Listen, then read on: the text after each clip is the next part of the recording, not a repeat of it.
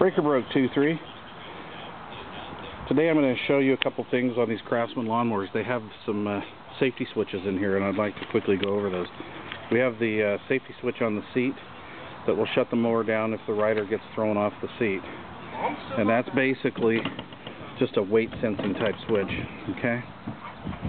We have another switch here that will kill the mower if you are mowing and you put it in reverse.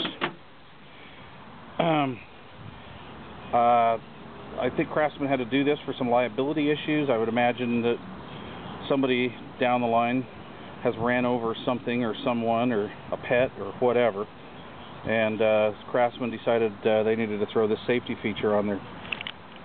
This safety for feature for me does not work. So I'm going to show you guys real quick how not to undo this safety feature. Alright? So here's what we do. We have uh, the factory harness that goes uh, from the seat switch down here and it goes down along the frame rails to the main harness. We have this switch mounted right here. Now you guys don't really need to take the switch out or really do anything like that. What you do is take a pick or something and pull up here and you will access this little two pin prong, this little two prong plug right here. And and what you do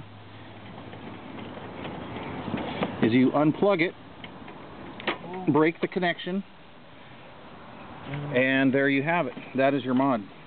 You go and you tuck that back down in there, and it's just as good as new.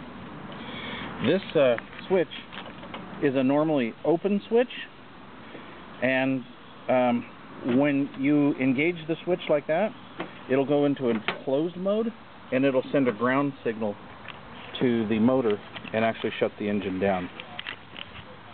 So uh, I hope uh, this information helps and uh, this is for experimental purposes only. I do not condone in any way doing this modification.